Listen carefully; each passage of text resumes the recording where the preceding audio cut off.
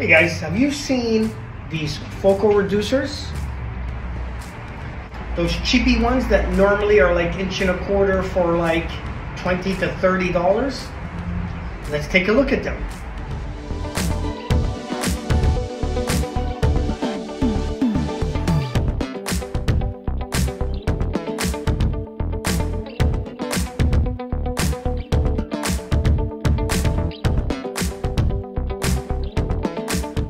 Guys, welcome back to the channel again. You know it's your best friend in astronomy, science, and telescope. Well, I hope at least one of them. Thank you for all the members that subscribed lately. Thanks for all the members that's been with me since the beginning. Appreciate you all.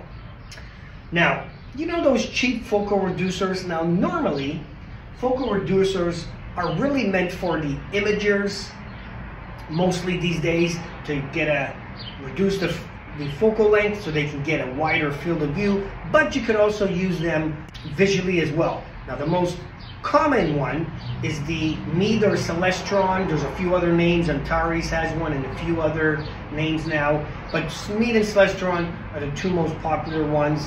Uh, they make it for an SCT, which converts it in f10 to an f6.3. Now normally for like refractors, they're very specialized to that specific refractor and they're very expensive. Sometimes the lower name brand like the Skywatchers and the GSOs, you're looking at about, you know, $300. And some of the big name brands or the special ones made can go up to like six, seven hundred dollars.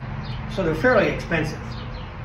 Now they have these inch and a quarter cheapy ones on AliExpress I got this one from the Antares name brand, and this one's a two inch. So it's actually a bit bigger than the inch and a quarter one. And again, it's supposed to do the same thing on a refractor, it's supposed to lower the focal length so you get a wider field of view. If you have a larger refractor, like an F10, F, well, if it's F12, there's not too many of those anymore, but really F8, F10, um, because there are some items that are going to be pretty big. Like Andromeda Galaxy is about six times the width of a full moon. Another one that I like to use this 4-inch f5 refractor is for North American Nebula. It is also about five and a half, almost six degree field of view. Very few telescopes, if any, can get that big of a field of view. I have tried using a 120 millimeter, which is the bigger brother of this one, uh, and it doesn't fit in that field of view, even with a big wide uh, two inch eyepiece, because it's 600 millimeter focal length. This guy is 500 millimeter focal length. I think you could just fit it with a tiny bit of space on it, but would be nice if I could reduce the focal ratio of it and the focal length and actually see it with a big space around it. And the reason is because sometimes when you look at something too close and it fills the whole field of view, you can't tell the shape from the background because it's you're so close to it. But if you can shrink it and you can see the space around it, okay, and then your item is easier to see even though it's smaller. So I want to test out this guy. Now I don't know, so this is an Antares version, so I figure I want a better quality one than the AliExpress because the inch and a quarter, you can probably get it for 20 to 25 bucks on there, and maybe the two inch version, uh, at least 40 bucks. Uh, but again, remember it's a two inch, not inch and a quarter, so it's gonna be more expensive. And I thought maybe the Antares version might be slightly better quality, made in Canada there. And um, this is a 0.5 reduction or in half. So I thought, I'm not sure on this guy because it is already really wide and by reducing the focal length even more, is it gonna have lots of curvature or astigmatism type of thing? So I don't know if it's gonna work or maybe it has to be on a longer type of refractor like an F8, try to bring it down to the F4. But again, does it really correct?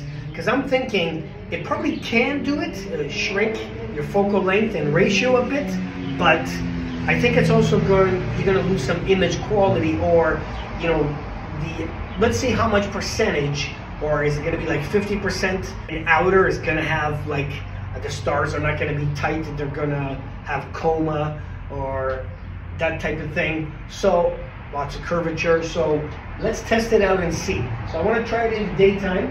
Maybe I got to get my two inch uh, diagonal and then let's see if we can kind of get this guy in focus and look at a couple things. We'll be back. Okay, so I got a two inch diagonal here and looks like this guy threads on. Okay, and we're gonna try looking through and see if there's a difference. But first, you know what I should do? Is take it off. Let's get a low power, see how the image looks, and then put it on the focal reducer and see, does it get wider? Does the image get crappier? Um, let's take it from there.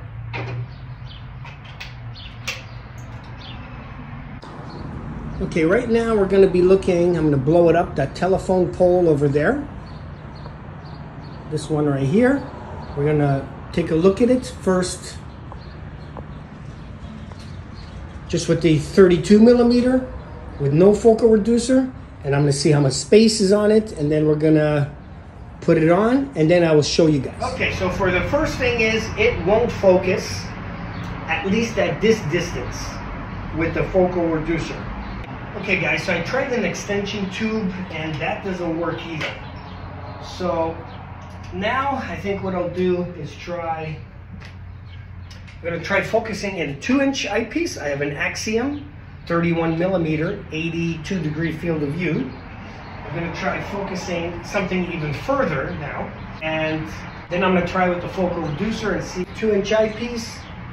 I can see, let's go back to that telephone pole. Okay.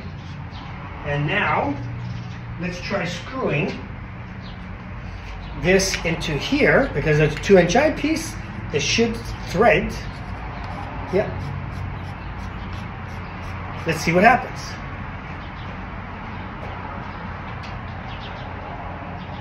Oh, it does work. Yes. I don't know if that's 50%. Let me do it on something else over.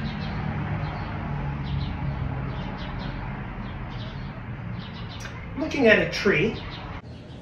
So we're looking at that tree there now. It's not super far, but, uh, and that pole, and it did work, but I don't think that was 50%. Let me try again. Okay, so actually, let me do with the focal reducer on. I can see the light, I can see the trees. Just saw a bird. Okay, now let me take it off. See up to there, a little bit up there. Okay, let's put it back. Okay, yeah, a bit more. I don't think it's 50%. It could be a good 30%. But I wonder if that would help. Now looking again at the like Andromeda Galaxy, the Pelican Nebula, the North American Nebula, it's going to shrink it a bit more so you're going to be able to see more of the item with more space around it. Then you can see it instead of it filling the whole space. You can't see where it starts and ends. So it does work. Let me show you guys. Let me see if I can just put it quickly to the eyepiece and then you guys tell me. Okay, so this is with the focal reducer and I'm just holding it with my hands because I don't have a camera adapter that's for two inches.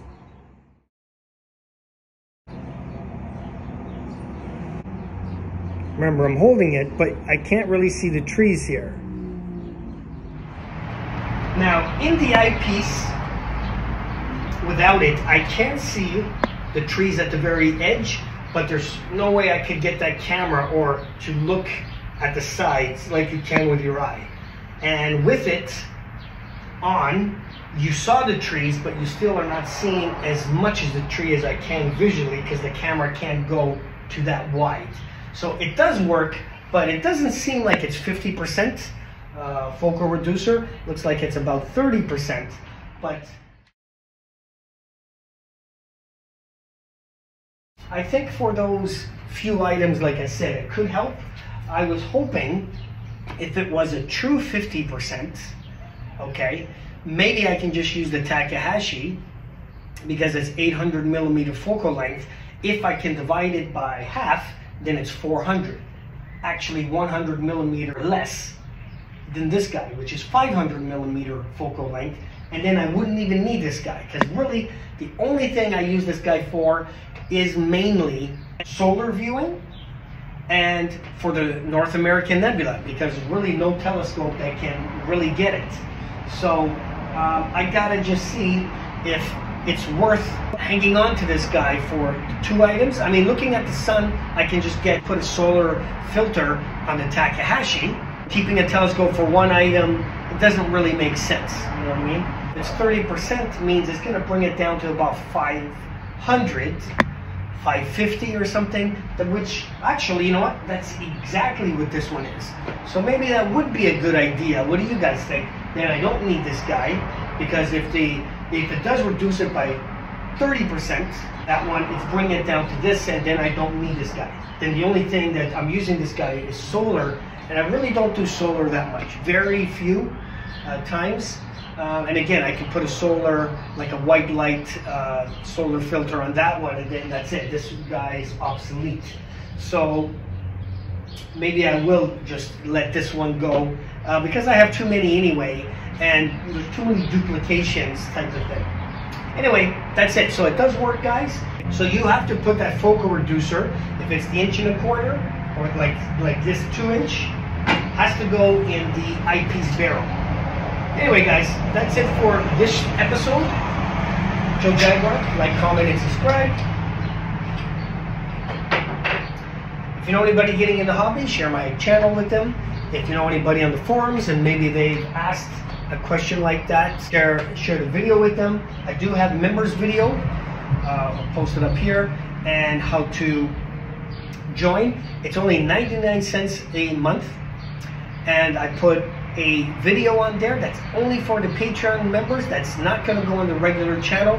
So that's the benefit you get. Plus, I put your name on the description.